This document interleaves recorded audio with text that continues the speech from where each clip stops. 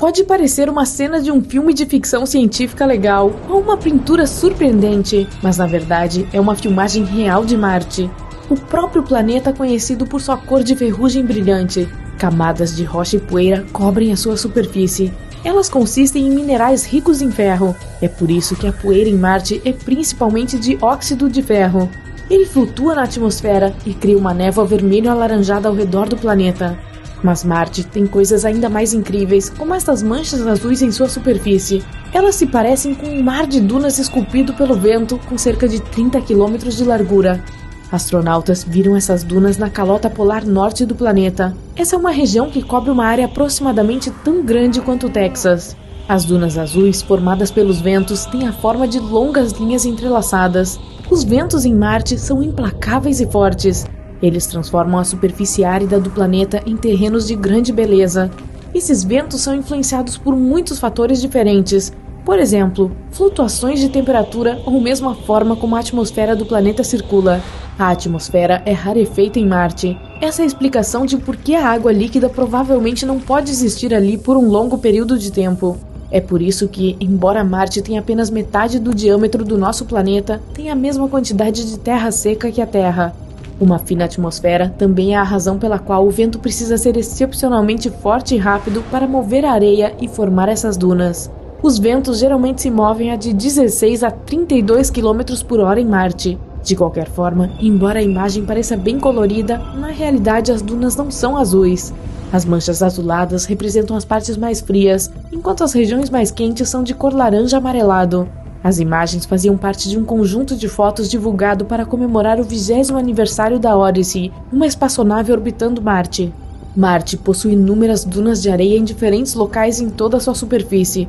Algumas delas se formaram há um bilhão de anos, como a da região de Vales Marineris. Elas não mudaram porque a pressão atmosférica e os padrões de vento permaneceram os mesmos.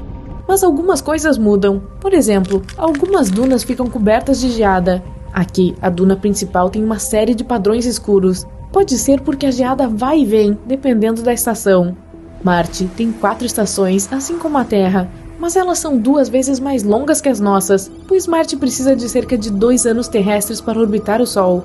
As estações são mais severas no sul do planeta do que no norte. Durante o inverno do sul, o planeta está mais distante do Sol, Marte se move bem devagar e sua órbita é elíptica, diferente da órbita terrestre que é quase circular.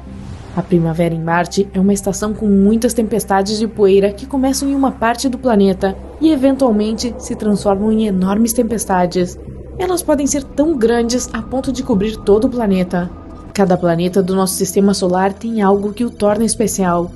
Júpiter, por exemplo, não é apenas o maior planeta, mais de duas vezes maior que todos os outros planetas combinados, mas também tem o maior oceano do sistema solar. Júpiter é feito de elementos semelhantes ao Sol. Eles são principalmente hélio e hidrogênio.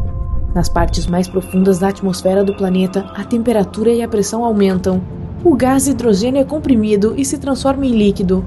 Isso dá a Júpiter o maior oceano, mas é feito de hidrogênio, não de água. Também existe uma teoria de que em algum lugar na metade do caminho para o centro de Júpiter, a pressão aumenta tanto que os elétrons começam a ser espremidos para fora dos átomos de hidrogênio. Isso permite que o líquido conduza a eletricidade de forma tão eficaz quanto a maioria dos metais. Júpiter gira rapidamente, o que cria correntes elétricas e um forte campo magnético. Mas, como gigante gasoso, o planeta não tem uma superfície firme. Os redemoinhos e listras do planeta são nuvens frias e ventosas de água e amônia. Júpiter também tem a icônica Grande Mancha Vermelha, que é uma tempestade insanamente grande com nuvens vermelhas girando no sentido anti-horário. Os ventos ali são muito mais rápidos do que qualquer furacão em nosso planeta. A Grande Mancha Vermelha mudou ligeiramente ao longo do tempo e atualmente é maior que o nosso planeta. Tem 1,3 vezes a largura da Terra Cientistas descobriram que suas raízes se estendem por mais de 320 quilômetros na atmosfera de Júpiter. Um ciclone tropical regular que vemos em nosso planeta pode se estender por apenas 15 quilômetros do topo até a base.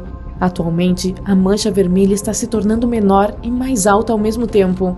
Júpiter também tem dezenas de luas e alguns anéis, mas ao contrário dos anéis de Saturno, esses são bastante tênues e, em sua maioria, feitos de poeira, não de gelo. Além disso, há um oceano salgado sob a superfície da maior lua de Júpiter, Ganymedes. Ele fica escondido abaixo de uma espessa crosta gelada. É provável que contenha mais água do que todos os reservatórios de água de superfície que temos na Terra juntos. A teoria diz que esse oceano tem cerca de 100 quilômetros de profundidade, 10 vezes mais do que o ponto mais profundo dos oceanos do nosso planeta. Júpiter e Saturno contêm 10 milhões de toneladas de pedras preciosas. A pressão dentro da atmosfera desses planetas pode transformar o carbono em pequenos pedaços de diamantes. Se você colocar esses diamantes sob temperaturas e pressões extremas, eles podem derreter. Isso provavelmente resulta em um tipo de chuva de diamantes. No início, nosso sistema solar era apenas uma nuvem rodopiante de gás e poeira. Ele eventualmente se desenvolveu em um disco giratório com a estrela central. Quase todos os planetas no nosso sistema solar se movem no sentido anti-horário em torno do Sol. Vênus é o único planeta que gira no sentido horário, e Urano gira de lado.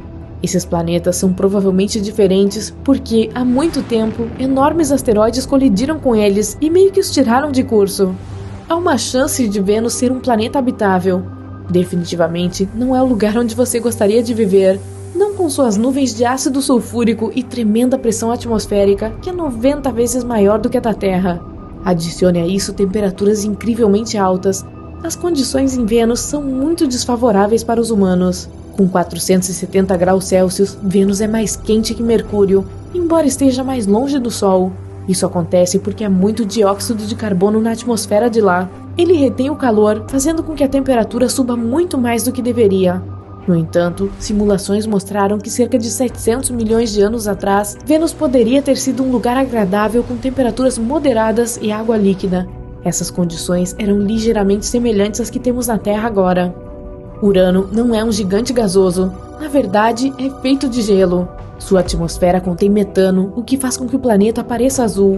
Possui 27 luas, dois conjuntos de anéis e muito gelo em sua atmosfera. Um dia em Urano dura pouco mais de 17 horas. Esse é o tempo que o planeta leva para completar uma única rotação em seu próprio eixo. Mas sua inclinação é tão pronunciada que, na maioria das vezes, um ou outro polo está apontado para o Sol. É por isso que a duração do dia no Polo Norte é quase meio ano, e um ano em Urano chega a 84 anos terrestres. Se você vivesse em Urano, próximo ao Polo Norte, seria capaz de ver o Sol no céu por 42 anos. Isso seria o verão. Depois disso, o sol iria se pôr e você teria que viver os próximos 42 anos na escuridão. Seria o inverno do planeta. Netuno é o menor e mais distante dos gigantes gasosos. A gravidade no planeta é semelhante à que temos na Terra, mas você não seria capaz de ficar na superfície de Netuno. Ela é gasosa, não terra sólida. Tritão, a maior das luas do planeta, orbita Netuno de uma forma muito incomum. Ela se move para trás em comparação com o resto das luas do planeta. Titã também está em uma espiral lenta para dentro em direção a Netuno. Um dia, daqui a bilhões de anos, é provável que seja dilacerada pelas forças gravitacionais do planeta e se torne apenas um anel ao redor de Netuno. Esse anel continuará sendo puxado para dentro até eventualmente colidir com o planeta. Plutão é um planeta anão e um ano lá dura 248 anos terrestres.